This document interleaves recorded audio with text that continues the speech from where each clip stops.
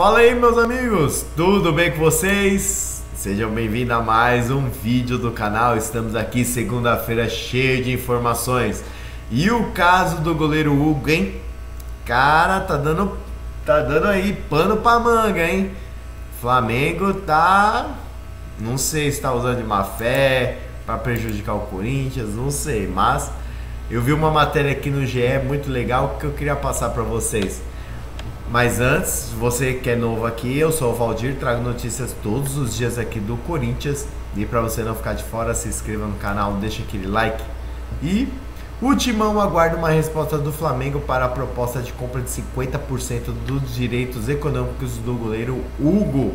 Na quinta-feira, respaldando por uma cláusula de contrato por dia empréstimo, o Timão sinalizou que irá comprar ou irá pagar os 80 800 mil euros, que dá ali cerca dos seus 5 milhões de reais, previsto para ficar com o jogador em definitivo.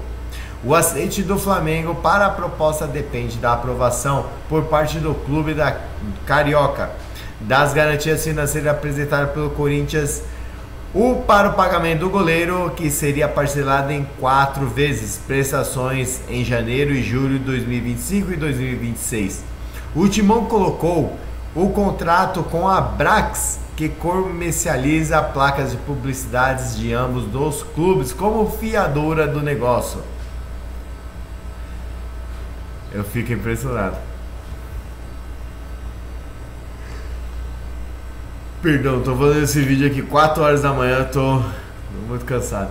O Flamengo pode recusar como fiadora, que também foi colocado como garantia no Pagamento pela compra do lateral Mateuzinho. Você sabia disso? O Timão, inclusive, atrasou uma das parcelas e causou irritação no rubro-negro.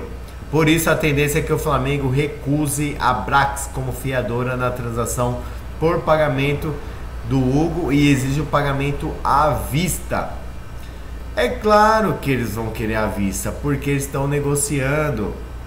Meu, isso que faz um dono de um produto, um dono, sabe, de direitos de uma pessoa.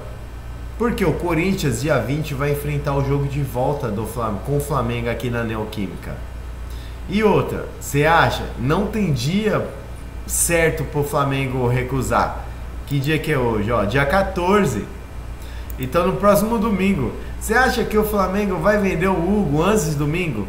Antes de querer é, absorver mais 500 mil do Corinthians, cara, isso é o mundo dos negócios. Qualquer leigo sabe disso, qualquer pessoa. Meu, eles estão usando o goleiro Hugo para tirar mais 500 mil reais do Corinthians.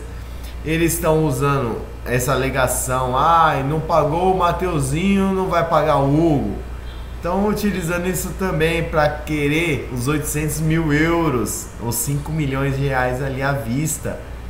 E sabe que o Corinthians está passando por um processo, está passando por, por mudanças.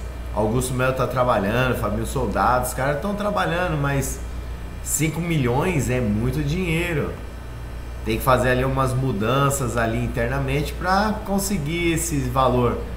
Mas o Flamengo é ligeiro mas eu quero saber da sua opinião. Coloca aqui nos comentários. O que, que você está achando dessa história toda? Vamos debater um pouquinho?